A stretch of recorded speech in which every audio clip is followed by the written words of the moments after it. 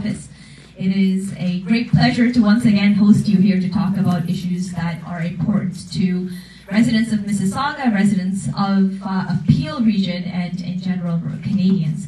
Uh, and we talk about the issues that matter most. And today, we're gathered here with our phenomenal Minister of Immigration, Refugees, and Citizenship uh, to talk about an issue that has been flagged for us uh, by uh, a number, a very high number uh, Pakistani Canadians or Canadians of Pakistani heritage. Uh, that uh, an issue that really is, is one strand or one bridge between the relationship that exists between Pakistan and Canada. And over the past 10 years, we've watched that this relationship and these bridges that we use, such as immigration, uh, such as uh, students, information sharing, people to people relationships, trade, uh, adoptions, these bridges that we used to, to really connect two countries together over the past 10 years really withered away. And with the advocacy, with the feedback of Canadians, and with the teamwork of my fellow members of parliament, with our amazing immigration minister, we've been able to take a number of steps towards really rebuilding, re-engaging with a country that is near and dear to a lot of Canadians um, who are not only of Pakistani heritage, but Canadians in general who want to do trade, who want to tour Pakistan, who, who want to build those relationships. So today, uh, the Minister of Immigration, Refugees and Citizenship, the Honorable Ahmed Hussen, has a number of things uh, to update uh, the Pakistani community and, and the Canadian community on with respect to how we are continuing to rebuild that relationship. And I'm joined by two very strong advocates uh, for the Pakistani Canadian community. On my right here is Rob Oliphant. Rob, I think uh, his constituency holds the highest number of Pakistani Canadians in the country. Is that right, Rob? We may be shrinking a bit, but we have the best ones. uh, but Rob is also the co-chair uh, of the Canada-Pakistan Friendship Group in Parliament, uh, which we started up uh, in, in, these past four years. He's, he's done a lot of phenomenal advocacy work with respect to building up humanitarian aid, uh, international development, increasing trade. he's, he's really been a strong advocate for Pakistan and, and that relationship, that people-to-people relationship between Pakistan and Canada. Uh, and on the left, we have Ruby Sahota. Ruby has been, uh, please a round of applause for this powerful lady. Ruby has been uh, tireless in, in her advocacy and her dedication to ensuring that the feedback that is received by her uh, in her community uh, is, is is advocated for, is highlighted, and that awareness is raised.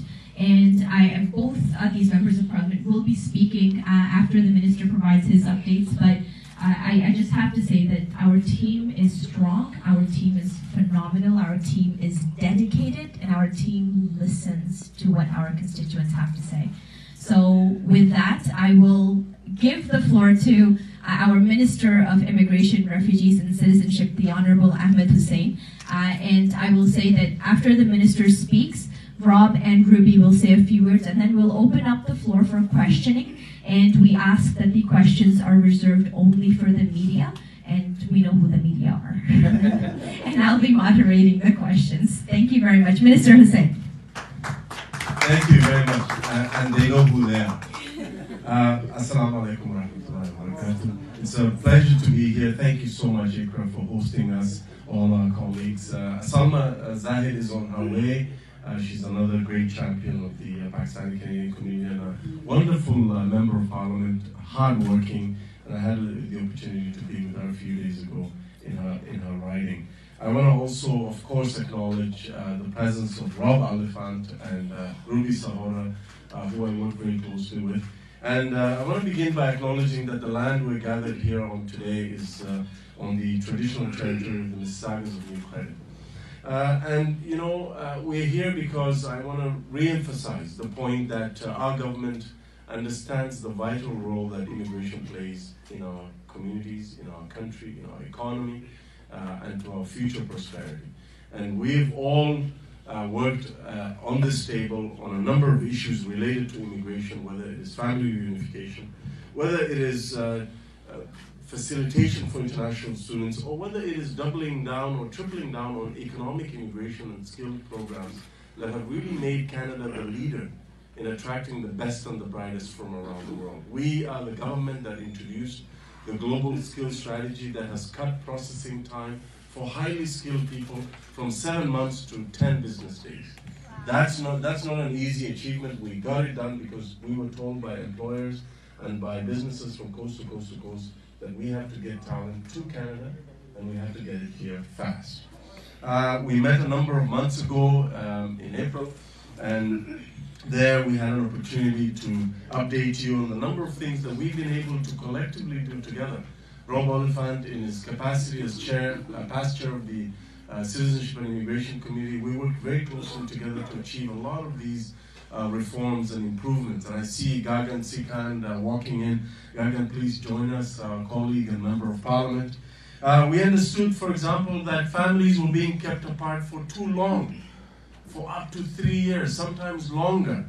And Pakistani foreign nationals who were being sponsored by their spouses and their children to Canada were one of the hardest hit, and they had some of the long